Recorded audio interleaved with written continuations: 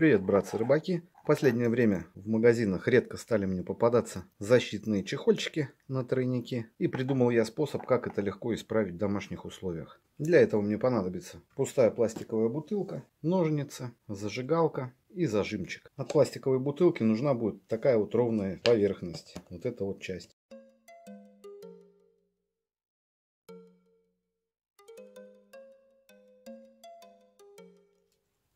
Вот так вот согнули. Вставили блесенку. Поджали ножничками. Лишнее обрезали. Начинаем заплавлять.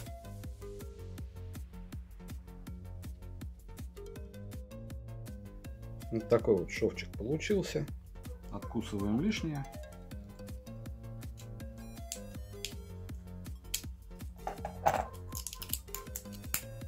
И тоже маленько подплавляем.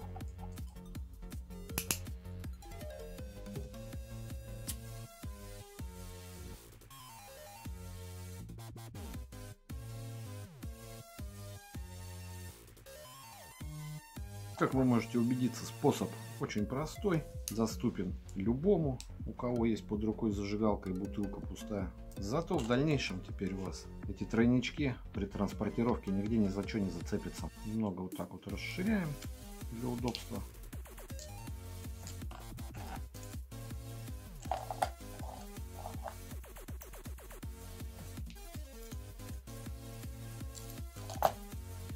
Вот и все, друзья. Все готово.